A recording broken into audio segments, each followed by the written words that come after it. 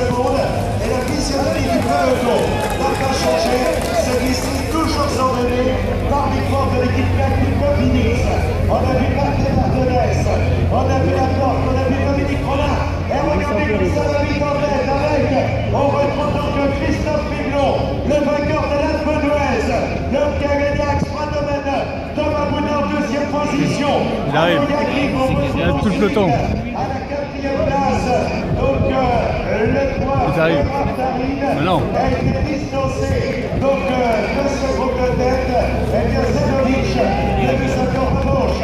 Le port américain Sameril, donc est toujours là. Et la sortie du peloton avec, on le pas des accélérations maintenant, à 28 secondes. Nous avons le passage maintenant à 28 secondes. L'équipe FDJ de formation dans laquelle Olivier Legac, l'ancien champion du monde la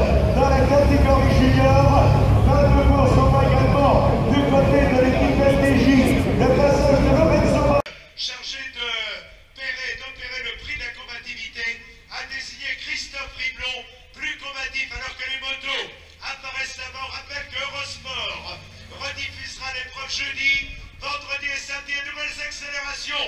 En tête de bateau, le rouge a disparu. On retrouve les portes de la pomme Marseille 13 en première ligne avec euh, Julien Fares que nous retrouvions au Julien Loubet au commandement, le vainqueur de la classique des Alpes qui vient de faire un excellent critérium international. Delphos a été repris, le peloton a été tiré au revoir. Christophe Riblon qui rejoindra le podium tout à l'heure pour le prix de la combativité. Voilà les trois derniers tours et il est indiscutable